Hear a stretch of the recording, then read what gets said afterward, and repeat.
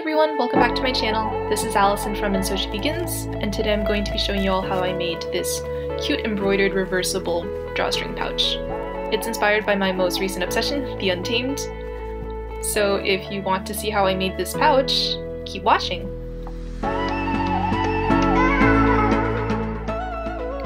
So here I'm cutting my fabric. I'm cutting four rectangles, each 8.5 by 6.5 inches. So I recently got into The Untamed after a recommendation from a friend. I've been holding off for the longest time, but she finally got me to watch it and it's all gone downhill from there. I'm so obsessed. I've lost so much sleep reading fanfiction about this after finishing the drama. If y'all have any fanfic recommendations, let me know in the comments below. I've read many in the week that it's been since finishing the drama. So I thought I'd channel my obsession into something productive. And so here we are with this embroidery project. I'll probably be making more of these in the future to curb my obsession. So now that I've finished cutting my fabric, I'm going to do the embroidery on them. Here I'm hooping in my stabilizer. This is tearaway stabilizer and one piece of fabric. I'm positioning the fabric so that the embroidery design will be in the bottom of the fabric. So I'm going to do one with the Lan family crest and one with the Jiang family crest. I'm starting with the Lan family crest and this design in particular takes about 35 minutes to stitch out and it uses a fill stitch with a diamond pattern. The design was really easy to digitize. I used both Inkscape and Stitch Artist. Um, if you all want to see how I digitized this, um, let me know in the comments and I'll make a separate video for that. If you'd like to purchase this design, it's available in my Etsy store, so I'll leave a link for it down below in the description box.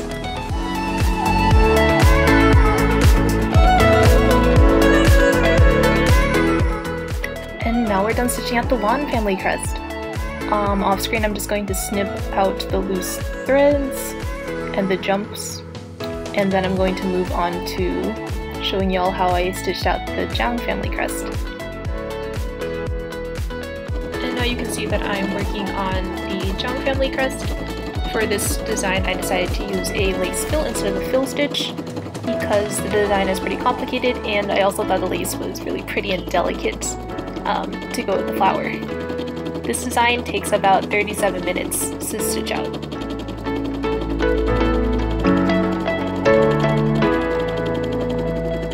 Okay, so now we're done with our embroidery. Guys, look how pretty it is with the lace stitch. I can't get over it. Anyways, now that we're done with the embroidery, we can start sewing the bag together. Alright, so I've laid out my fabric here. I have the front and back of one side of the bag.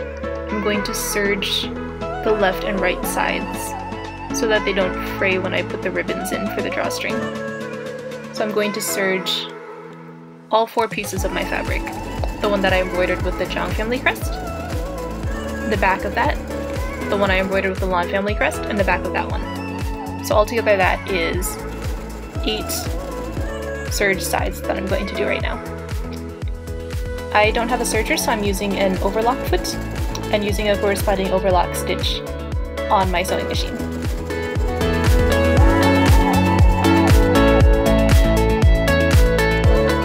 Alright, so I've finished serging all of my pieces of fabric, and now I'm going to put them right sides together so that I can sew around the edges to create the pouches. At the top of each pouch, about two and a half inches from the top, I'm going to leave a one inch gap on both sides for the drawstring that I'm going to insert later. So here you can see I've marked on the left and right sides a one inch gap so that when I sew I know where I'm going to stop and where I'm going to start again as I sew along the sides.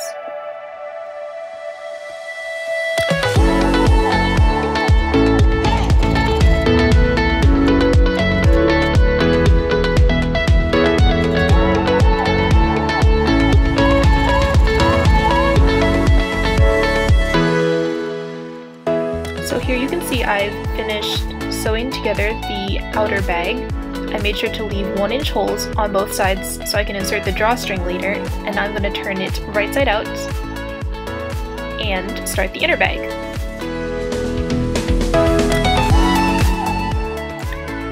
So here I'm starting the inner bag. Notice I'm leaving a 1 inch gap near the top so I can insert the drawstrings later, and around that 1 inch gap, I'm making sure to go back and forth with my stitches a few times to make sure they're secure and nothing will come loose when the drawstrings are pulled over time.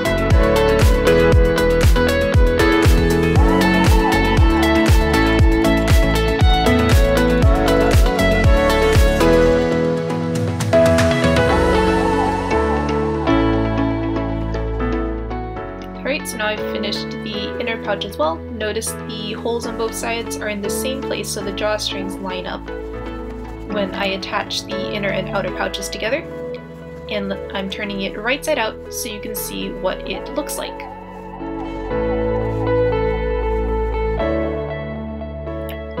Here I have the pouches both right side out so you can see what they look like next to each other. Before I insert the Lan pouch into the Jiang pouch, I'm going to turn it back inside out so that when we reverse them, the pretty embroidery will be on the outside. Alright, so here you can see I've turned the Lan pouch back inside out, and I'm going to insert it into the Jiang pouch. And then I'm going to sew them together.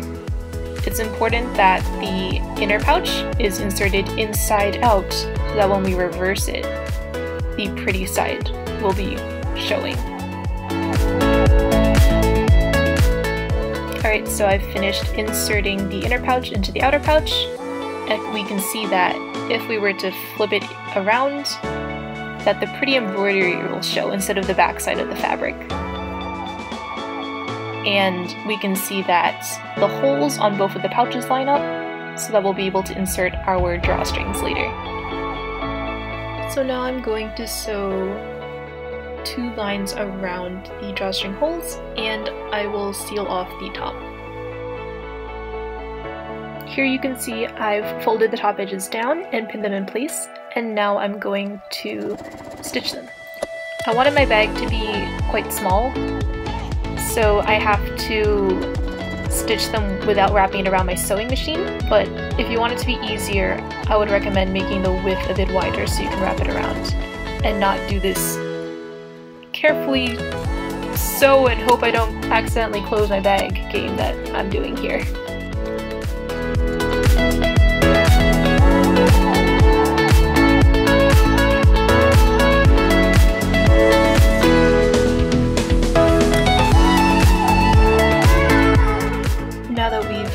Sewing our bags together, we can see that it's starting to look reversible.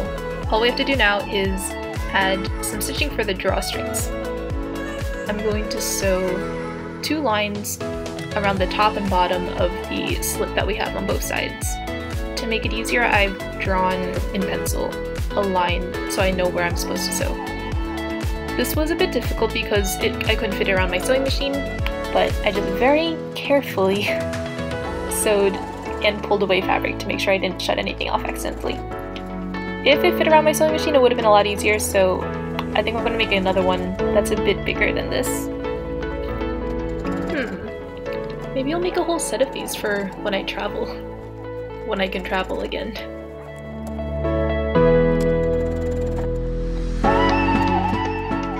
Alright, so now that I've finished the top stitch, I'm going to do the bottom stitch around the drawstring holes being very careful again, so I don't accidentally close off my bag.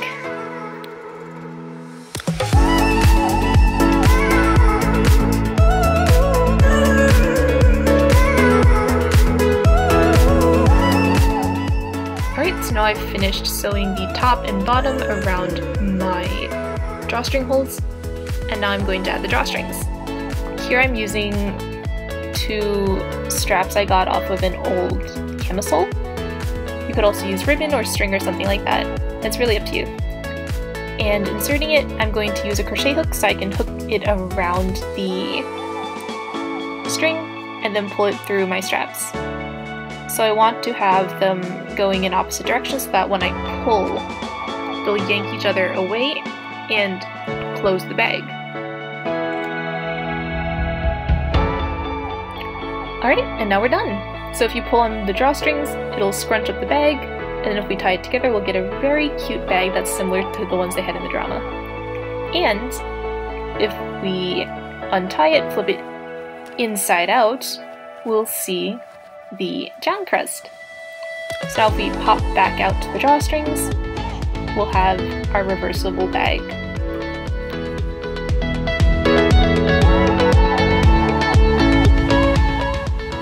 Thank you for watching to the end of this video.